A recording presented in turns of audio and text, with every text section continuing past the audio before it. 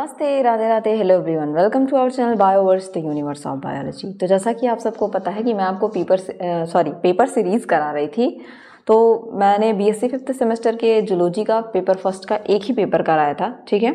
वो सीरीज़ फिर से मैंने स्टार्ट की है तो ये आपके पेपर फ़र्स्ट जो है, जिसमें आपको diversity of non chordata and economic zoology and parasitology के बारे में पढ़ना है। तो उसका आज हम पेपर करेंगे। देखेंगे कि प्रीवियसली ये आपके 2023 2024 का पेपर है, यानी कि बेसिकली 2023 का पेपर है। इस बार जो 2024 में पेपर होगा, उसमें आपको हेल्प मिलेगी क्योंकि मैं डिफरेंट डिफरेंट यूनिवर्सिटीज़ के पेपर आपके साथ डिस्कस कर रही हूँ। तो चलिए स्टार्ट करते हैं। और अगर पेपर से आपको किसी भी चीज़ से ना बेनिफिट मिलता है तो आपको उस चीज़ को आगे ज़रूर ट्रांसफ़र करना चाहिए, ताकि बाकी जो आपसे जूनियर्स हैं उनको भी हेल्प मिल सके, ठीक है? जैसे ये वीडियो आपके लिए हेल्पफुल है, वैसे ही आपका पेपर किसी और के लिए हेल्पफुल हो सकता है। तो मेरी आपसे यही रिक्वेस्ट है कि आप सब टेलीग्राम का लिंक दिया ही रहता है डिस्क्रिप्शन में। वहाँ से आप जाके ज्वाइन ज़रूर किया सॉरी वहाँ पे ज्वाइन करके टेलीग्राम पे आप ज़रूर पेपर भेज दिया करें। चलिए स्टार्ट करते हैं। तो बीएससी फिफ्थ सेमेस्टर का जुलॉजी है पेपर का नाम तो मैंने बताया है, फिर भी एक बार मैं इसे दिखा देती हूँ आपको। Diversity of non chordate and economic zoology time इसमें, इस पेपर में आपको टू आवर्स का टाइम मिला था सेवेंटी मार्क्स का ये पेपर था। ठीक है, कुछ इंस्ट्रक्शन दिए हुए हैं कि इसमें अटेम्प्ट करना है सारे क्वेश्चन को आपको, ठीक है? और जैसा कि इसमें डायरेक्टेड है सेक्शन ए की बात की जाए तो सेक्शन ए में आपका शॉर्ट आंसर टाइप क्वेश्चन पूछा है। चलिए देखते हैं। और इस इस सेक्शन में आपको सारे क्वेश्चन करने कंपलसरी हैं, ज़रूरी हैं। नाइन क्वेश्चन नंबर पूछे गए हैं फाइव नंबर के ईच क्वेश्चन है फोर्टी फाइव मतलब सेवेंटी फाइव नंबर में फोर्टी फाइव नंबर आपका केवल ये पहला पार्ट कैरी करेगा। तो मतलब सबसे इंपॉर्टेंट इस पेपर का पार्ट है आपका इंपॉर्टेंट जो आपका जो फ़र्स्ट सेक्शन है, सेक्शन ए है। चलिए देखते हैं कि करके। पहला क्वेश्चन इसमें पूछा गया है कि बाइनरी फिजन बताना आपको पैरामीजियम में, ठीक है? तो पैरामीजियम में आप सबने रिप्रोडक्शन मैंने बहुत अच्छे से पढ़ाया है, ठीक है? इसके तो नोट्स भी आपको मिल जाएँगे टेलीग्राम पे, ठीक है? नोट्स वहाँ पे पड़े हुए हैं टेलीग्राम पे। पैरामीशियम में बाइनरी फिशन ठीक है? बाइनरी फिशन किस तरीके से होता है? और उसका, उसमें आपको बेसिकली रिप्रोडक्शन कई तरीके का होता है। उसमें आपको सिर्फ़ और सिर्फ़ बाइनरी फिजन यहाँ पे एक्सप्लेन करना है विथ डायग्राम ठीक है? क्योंकि यहाँ डायग्राम ज़रूरी हो जाता है। आपके बायोलॉजी में बेसिकली डायग्राम बहुत ज़रूरी है। बिना उसके ना आप समझ पाएँगे और जब आप डायग्राम बनाएँगे तो टीचर को भी लगेगा कि आपको चीज़ें, आपकी कॉन्सेप्ट क्लियर हैं, ठीक है? कभी कभी इवन ऐसा होता है कि ज़्यादा फोकस डायग्राम पे रहता है कि उसमें डायग्राम है या नहीं, क्योंकि कुछ चीज़ें ऐसी होती हैं जो डायग्राम में ही आप दिखा सकते हैं, सिर्फ़ रिटर्न से उसका काम नहीं चलता है ठीक है? फिर अगर आगे बात करें तो यहाँ पे दूसरा क्वेश्चन पूछा गया है ओबेलिया से। सिलेंट रेटा में आपको ओबेलिया और ऑरेलिया दो पढ़ना था तो ओबेलिया का मेडूसा जो है, ठीक है? ओबेलिया के मेडुसा से आपका क्वेश्चन पूछा गया है, ठीक है? तो मेडुसा आपको ओबेलिया का बनाना पड़ेगा, इसमें अल्टरनेशन ऑफ़ जनरेशन पाया जाता है, ठीक? है alternation of generation polyp and medusa दोनों पाए जाते हैं। उसमें आपको मेडुसा का स्ट्रक्चर बनाना है, मेडुसा के बारे में बताना है, कैसे वो सेक्सुअल रिप्रोडक्शन करता है, कैसे वो पॉलिप पॉलिप बनाता है, ठीक है? तो ये सारी चीज़ें आपको बतानी है। फिर अगर आगे बात करें तो इस क्वेश्चन में मैं देख रही हूँ, इस वाले पेपर में कि चीज़ें थोड़ी अंदर से पूछी हुई हैं। ऐसे डायरेक्टली क्वेश्चन नहीं पूछा है। बाकी यूनिवर्सिटीज़ में देखती हूँ मैं डायरेक्ट क्वेश्चन पूछता लेकिन इस यूनिवर्सिटी में, इस वाले पेपर में डायरेक्ट क्वेश्चन नहीं पूछा। जैसे अब टीनिया सोलियम आप सबने पढ़ा है तो टीनिया सोलियम में यहाँ टीनिया सोलियम के स्कोलेक्स के बारे में पूछा ठीक है? जो उसके स्कोलेक्स होते हैं उसके बारे में आपको बताना रहेगा कि स्कोलेक्स में क्या क्या पार्ट होते हैं। अब डी क्वेश्चन पूछा एस्कैरियसिस तो एस्कैरिस के वजह से जो डिज़ीज़ होती है, उसको हम क्या कहते हैं? एस्कैरियसिस कहते हैं। तो आपको डिज़ीज़ उस डिज़ीज़ के बारे में बताना एस्कैरियसिस डिज़ीज़ के बारे में कि क्या होता है उसमें सिम्टम्स क्या होते हैं, यही सब आप बताएँगे उसमें, ठीक है? फिर आपका ई क्वेश्चन पूछा मैग्जिली इन प्रॉन आप सबको पता है कि प्रॉन में जॉइंट अपेंडिजेस पाए जाते हैं। ऑर्थोपोडा का मेंबर है तो उसके अंदर अपेंडिजेस तो होंगे। अब उसमें मैग्जिली के बारे में आपको बताना है, ठीक है? मैंडिबल मैग्जिला सब कुछ पाया जाता है ना? इसमें आपको इसके मैग्जिली के बारे में बताना है, ठीक? फिर आगे बात की जाए तो हैस्टेट प्लेट आप सब कमेंट सेक्शन में बताएँगे, अभी तक पढ़ चुके होंगे। हैस्टेट प्लेट किस फाइलम में पाया जाता है? यहाँ पे आपको हैस्टेट प्लेट के बारे में बताना था, ठीक है? जी वाला जो क्वेश्चन है, इसमें आपको सोचिए, ये सबसे ज़्यादा कैरी करने वाला आपका क्वेश्चन का पेपर का पार्ट है।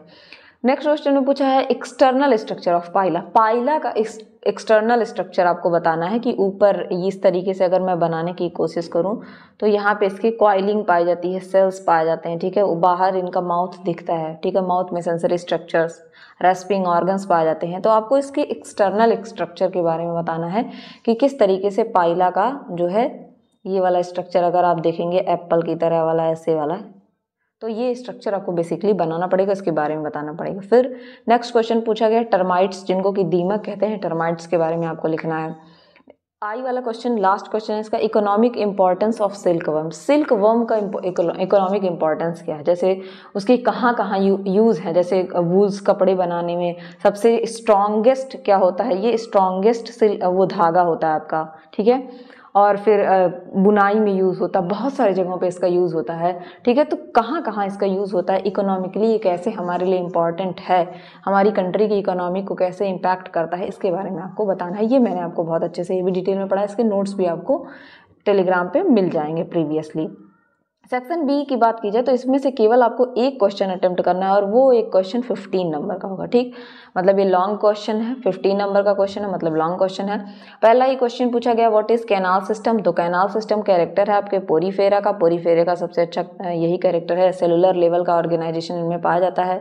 तो स्पॉन्जोसील बनता है। स्पॉन्जोसील्स में क्या होते हैं, कई सारे यहाँ पे आपको ऑस्टिया देखने को मिल जाएँगे। और एक ऑस्कुलम जहाँ से पानी निकलता है स्पॉन्जोसील कैविटी होती है कोइनोसाइट की लाइन होती है। यही सब आपको पूरा वेरी वेरियस और वेरियस टाइप के कैनाल सिस्टम्स आपको बताने हैं, ठीक है? बेसिकली तीन तरीके के कैनाल सिस्टम होते हैं जो मैंने पिछली वीडियो बनाई थी उसमें बताया है कि, कि किस तरीके से इनके कैनाल सिस्टम्स होते हैं। तीन तरीके के कैनाल सिस्टम पाए जाते हैं sycon type ascon type and rhagon type तो वो पूरा आपको यहाँ पे एक्सप्लेन करना पड़ेगा कैनाल सिस्टम के बारे में। ठीक है वेरियस टाइप पूछा इसमें किसी एक का नाम नहीं लिया है कि आपको साइकॉन टाइप बनाना है बताना है। आपको इसमें ascon type sycon type and rhagon type ठीक है ये तीनों बताना पड़ेगा। ठीक? नेक्स्ट क्वेश्चन में पूछा गया है explain the external feature of taenia तो टीनिया का अगर एक्सटर्नल फीचर आपको पता होता है, ऊपर वाले में स्कॉलेक्स पूछा, वो उसको आप डेट क्या करते एक्सप्लेन करते with help of suitable diagram अब आपको यहाँ पर सूटेबल डायग्राम भी बताना है एक्सटर्नल मॉर्फोलॉजी में कि किस तरीके से इनमें सूडो सेगमेंटेशन पाया जाता है, इस तरीके से फ्लैटेंड बॉडी होती है इनके, ठीक है? सकर्स पाए जाते हैं माउथ में, ठीक है? क्योंकि ये एंडो पैरासाइट होते हैं बॉडी में। तो इनके एक्सटर्नल फीचर के बारे में आपको पूरा बताना है, ठीक है? क्या क्या पार्ट इनके पाए जाते हैं। नेक्स्ट क्वेश्चन पूछा गया है। Write the general characteristic feature of the hirudinaria मतलब यहाँ पे एनेलिडा से क्वेश्चन पूछा गया है लीच के बारे में। और इसको क्लासीफाई करना है ऑर्डर तक। अप टू ऑर्डर तक इसको क्लासीफाई करना है। जनरल कैरेक्टर बताना है फीचर बताना है हेरोडिनेरिया का। और इसे क्लासीफाई करना है ऑर्डर तक, ठीक है? आगे अगर मैं बात करूँ तो यहाँ पे फिफ्थ क्वेश्चन पूछा गया है। इन सभी में से आपको बस एक करना रहेगा। जो भी आपको अच्छे से डिटेल में आता हो उसको कर सकते हैं। Describe the life cycle damage control of sugarcane leafhopper pyrilla ठीक है? तो सुगर केन लीफ हॉपर जिसको कि पायरिला कहते हैं, उसके लाइफ साइकिल के बारे में, उसके कंट्रोल के बारे में और डैमेज कैसे करता है वो, उसके बारे में आपको बताना है। सेक्शन सी की बात की जाए तो यहाँ पे भी आपको एक क्वेश्चन ही करना है 15 मार्क्स का ये क्वेश्चन है तो आपके देखिए 45 का ऊपर वाला और दो क्वेश्चन आपको 15 15 करने हैं सेवन तो ये टोटल थर्टी नंबर कैरी कर रहा है। और अगर आपने ऊपर वाला बहुत अच्छे से कर लिया तो आपके पेपर का सबसे स्कोरिंग पार्ट सेक्शन ए है। बात करेंगे तो यहाँ पे आपको डिस्कस करना है वॉकिंग लेग्स ऑफ़ पेलियोमॉन यानी कि प्रॉन के वॉकिंग लेग्स जो हैं, उनके बारे में आपको यहाँ पे डिस्कशन करना है डिटेल में। विथ डायग्राम आपको यहाँ पे डायग्राम बोले या ना बोले आपको देना पड़ेगा। ठीक है? ये तो सबसे ज़्यादा इकानोडर्मेटर से सबसे ज़्यादा पूछे वाला जो क्वेश्चन है, उसका वाटर वेस्कुलर सिस्टम और अगर आपको इसका लार्वा पढ़ना होता है तो लार्वा से क्वेश्चन बहुत ज़्यादा पूछता है। तो ठीक है, यहाँ पे वाटर वेस्कुलर सिस्टम आपको बताना है, जो कि उनके डाइजेशन लोकोमोशन रेस्पिरेशन में हेल्प करता है। और किस तरीके से उनमें स्ट्रक्चर पाए जाते हैं फून आपके सब कुछ उसमें आप ट्यूब फीट वगैरह का स्ट्रक्चर किस तरीके से, ये आप देखते होंगे, इस तरीके से लटके हुए ट्यूब फीट आपको देखने को मिलेंगे। पूरा डिटेल में आपको बताना है, ठीक है?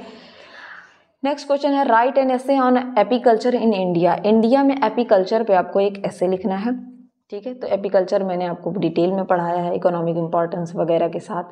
नाइन्थ क्वेश्चन है discuss the habit and habitat life cycle and prevention and control of mosquito तो मॉस्कीटो में मॉस्कीटो की हैबिट एंड हैबिटेट कहाँ पाए जाते हैं? उनकी लाइफ साइकिल कैसी होती है? और उनको कैसे प्रिवेंट किया जा सकता है और कंट्रोल किया जा सकता है? इसके बारे में आपको डिस्कस करना था, ठीक है? तो ये पूरे पेपर में मैंने आपको जैसा कि बताया नॉन कॉर्डेटा का पेपर है, और इसमें बेसिकली ज़्यादा क्वेश्चन आपके नॉन कॉर्डेटा से ही पूछा गया, ठीक है?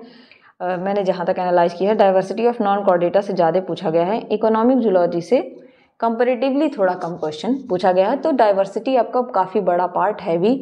मुझे लगता है इनके पेपर में पैरासाइटोलॉजी से तो क्वेश्चन पूछे ही नहीं गए हैं इस यूनिवर्सिटी में, ठीक है?